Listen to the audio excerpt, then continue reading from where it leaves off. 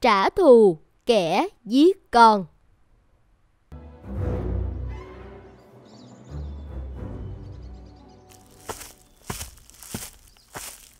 Mình à, tôi đói quá. Mình nấu bữa tối chưa? Bữa tối xong xuôi cả rồi, để tôi vào đun nóng ít sữa dê.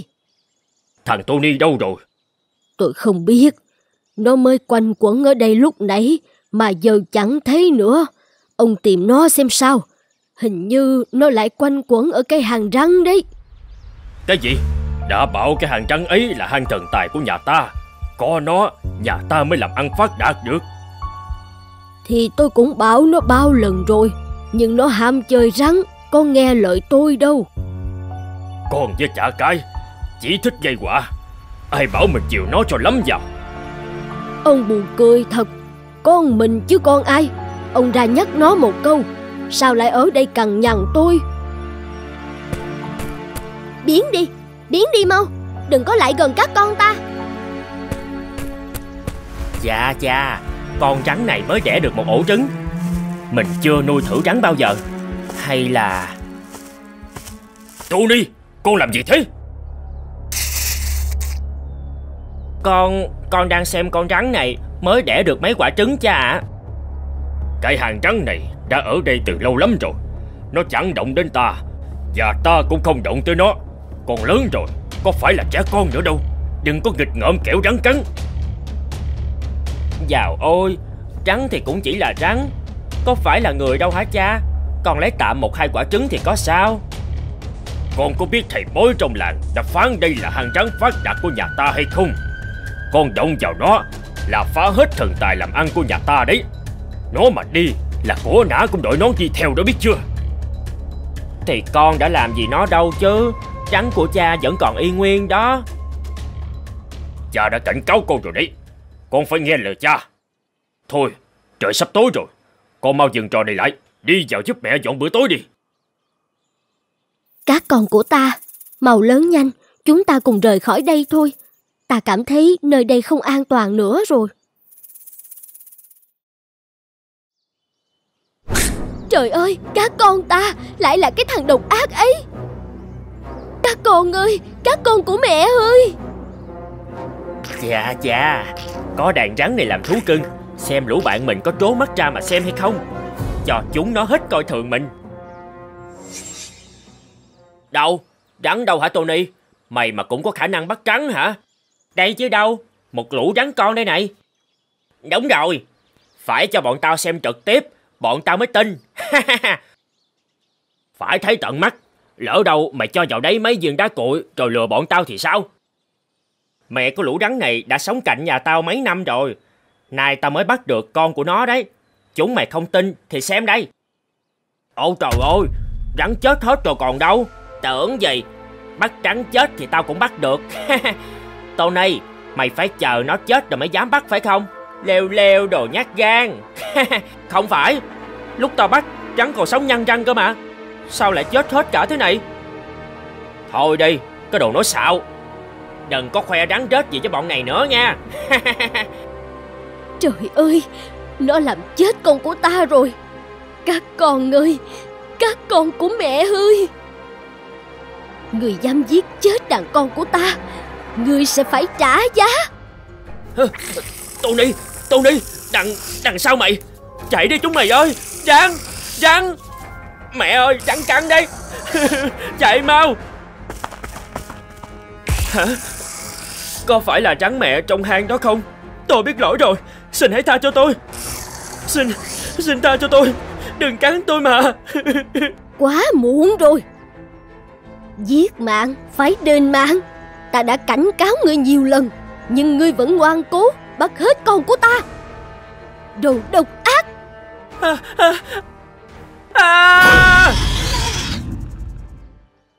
Cháu nói sao Tôi đi vào bắt Bị rắn cắn chết rồi sao Dân Hình như chính là con rắn ở hốc đá Phía sau nhà bác đó ạ à? Cháu nghe Tony nói Cậu ấy bắt rắn con ở đó trời ơi, Tony con tôi. Mình ơi Mình ơi Mình có sao không Mình ăn đi cho lại sức. Mình cứ thế này Tôi không chịu nổi. Trả con cho tôi Trả con cho tôi. Kìa mình Mình tỉnh táo lại đi.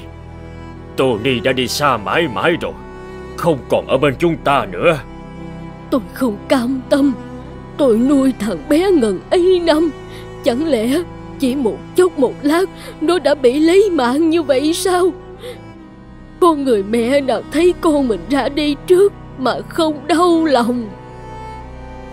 Thì mình bảo tôi giờ phải làm gì bây giờ? Chẳng lẽ tôi xuống âm phủ đòi lại mạng của con mình sao? Trả con cho tôi Trả lại Tony cho tôi. Đúng rồi Là tại con rắn kia. Con rắn chết tiệt. Tao sẽ diệt hết giống loài ác ôn như mày Con rắn kia Mau ra đây. Hôm nay tao phải giết mày để trả thù cho con trai của tao. Mày có giỏi Thì đấu với tao xem này. Con trai ông là kẻ độc ác Còn dám tới đây đòi lẽ phải hay sao? Nhưng đó là đứa con trai độc nhất của tao. Hôm nay tao mặc kệ mày có phải rắn thần tài gì hay không Tao sẽ giết mày đền mạng cho con tao. Thế còn lũ con của tôi Ai sẽ đền mạng cho chúng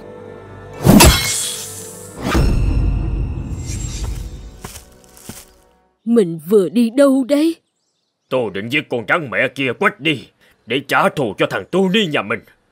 Nhưng nó lành quá Rìu của tôi chỉ kịp chém vào đá Đợi mãi còn thấy nó trở ra Nên tôi lại đi về. Trời ơi Sao mình lại giận quá mất khôn như vậy? Mình còn không hiểu thừa lý do Vì sao con rắn đó cắn chết Tony hay sao? Tôi hiểu chứ Vì Tony đã làm chết lũ con của nó Thế thì bây giờ Nó cũng sẽ căm hận mình Vì mình đã cầm rìu định chém nó. Tốt hơn hết Mình đừng động vào nó nữa. Tôi mất thằng Tony Là quá sức chịu đựng rồi. Ừ nhỉ Mình nói phải. Rắn là loài có thể báo thù. Tôi không nên gây hiểm khích với nó. Và lại Hàng rắn đó lại ngay bên cạnh nhà mình. Để tránh hậu họa về sau Mình nên chủ động hòa giải với nó thì hơn. Trăng ơi Cho ta xin lỗi chuyện hôm trước. Quả thật ta nóng giận quá nên mất bình tĩnh. Chúng ta đã sống cạnh nhau nhiều năm nay. Mi biết là ta không hề muốn động tới Mi mà. Trăng ơi Tôi muốn hòa giải. Chúng ta hãy chung sống trong hòa bình. Không thể được Tại sao lại không thể? Tôi xin lỗi vì đã không biết dạy con. Tôi cũng thấy mình đã sai lắm rồi. Chừng nào ông còn thấy mộ con trai ông Và vết chém trên đá kia, Thì chúng ta không thể nào thân thiện được. Rắn cũng bị mất con, Nên nó biết nỗi đau ấy không thể nào nguôi ngoai được, Cũng không có gì đảm bảo. Người nông dân sẽ không chém nó thêm một lần nào nữa Để trả thù cho con mình. Chỉ con ngu ngốc mới tin được kẻ đã từng hòng lấy mạng ta Hãy like, comment, subscribe kênh để xem thêm những video mới nhất nhé!